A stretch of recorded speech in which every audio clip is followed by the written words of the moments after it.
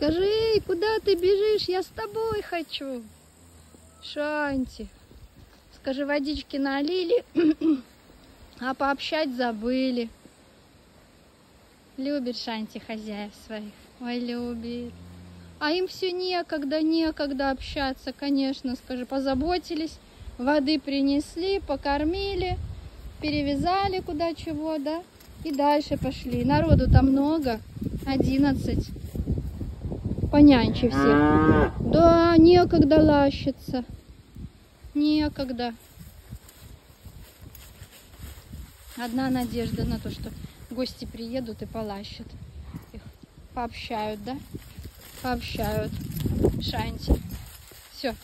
Раз хозяин ушел, пойду и я.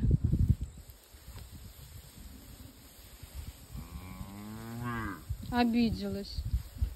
Обиделась, скажи. Я так бежала за Юрием с ведрами. Он так быстро уходил. Я тоже хотела за ним. Да, обидно.